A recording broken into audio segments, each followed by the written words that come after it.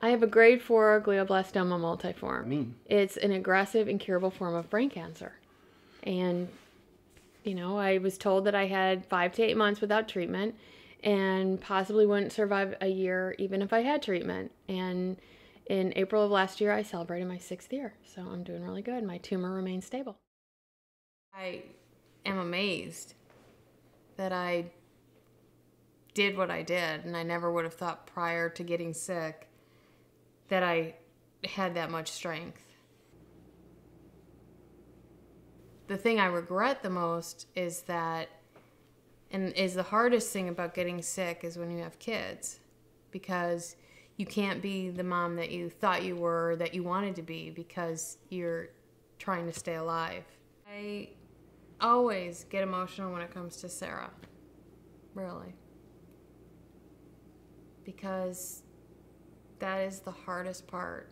And when I was when I first found out I had a brain tumor, I Sarah and my husband brought me to the ER and uh, they said, you know, you have a large mass in your brain and it was my birthday. It had just become my birthday. And I had had my mom come and pick up uh, Sarah at the hospital and take her home because she had school the next day. And uh, when she woke up the next morning, I thought, oh, we've got to tell her, we've got to tell her, because she didn't know.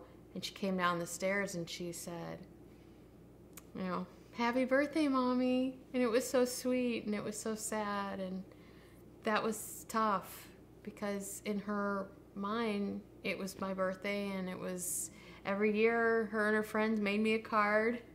And uh, that year was no exception. She came home with the card uh, because I didn't tell her until after school.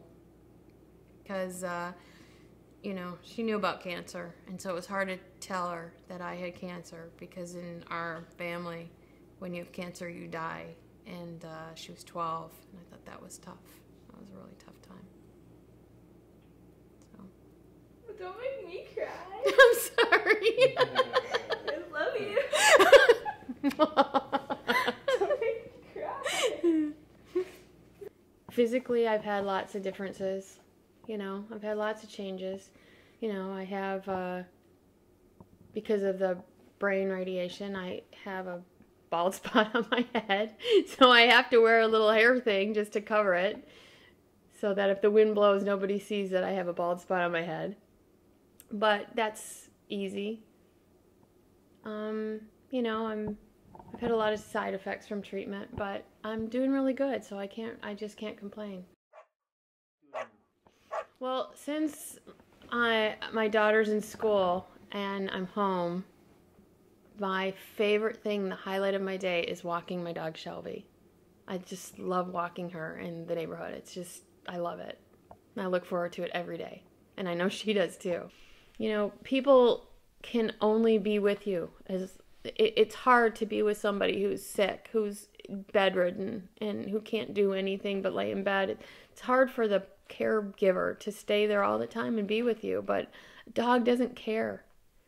I had another pet too who was really. I had another dog that was really a huge part of my recovery. And she died last year. But when I was really when I was really sick and I was in bed and I couldn't get out of bed at all, she would lay with me. And so I really credit her with um helping me get through my treatment. She was 14, so it was just Sarah went back to school and then a month later my my dog died. And so it was really it was pretty difficult last year. So now I think that's why I really value my time walking Shelby. I just, you know, it's the highlight of my day.